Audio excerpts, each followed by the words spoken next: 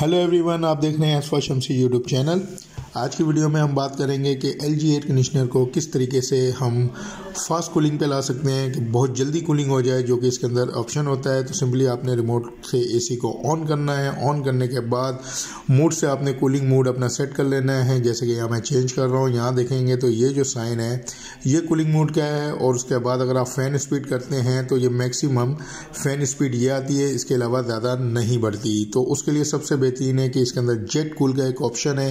तो आपने इसको प्रेस कर देना है। इसको प्रेस करते ही अगर आप यहाँ देखें तो यहाँ फ़ैन स्पीड और ज़्यादा फास्ट हो गई है। तो जब आप अपने एसी पे करेंगे तो एसी की विंड जो है, उसका जो प्रेशर है, बहुत ज़्यादा तेज़ हो जाएगा और आपके रूम में जल्दी कूलिंग होना शुरू हो जाएगी।